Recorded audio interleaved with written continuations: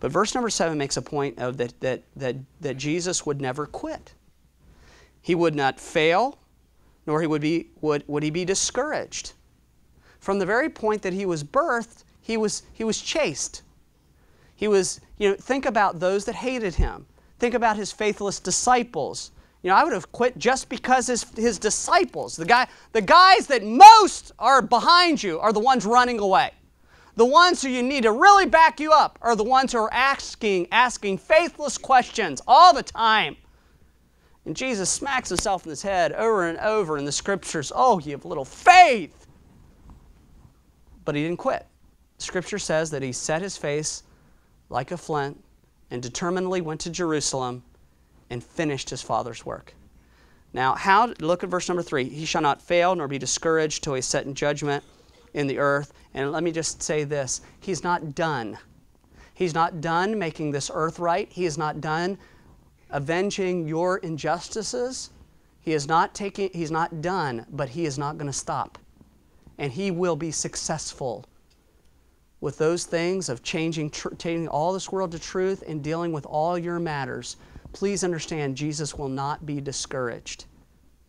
When I thought, I connected verse number three to verse number four about the bruised reed and people, no doubt, that are hurting in this congregation tonight, and the fact of verse number four, the promise that Jesus would not fail nor be discouraged. He will finish his work, he will finish what needs to be done on this earth. I, I wanted to encourage you here tonight, the bruised reeds and the smoldering, you know, flax here tonight that feel like, you know, something uh, that you may never be on fire with joy for the Lord again. Listen to me. He won't stop. He, Jesus, will never quit.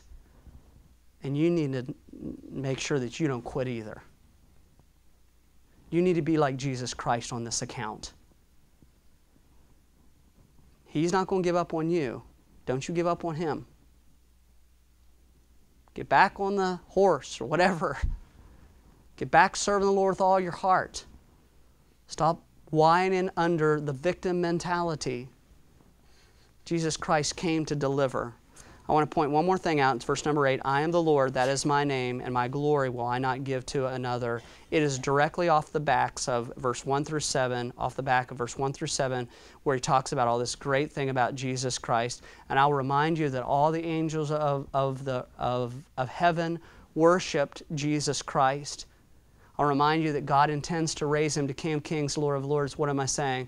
I'm saying, verse number 7, he's not going to share his glory with another but he makes everybody worship Jesus because Jesus is God. He's God come to earth. Jehovah doesn't share his glory with another when he shares it with Jesus, he shares it with himself. Tonight, are you the bruised reed? Christmas, Jesus came to light you on fire again. Would you bow your heads tonight?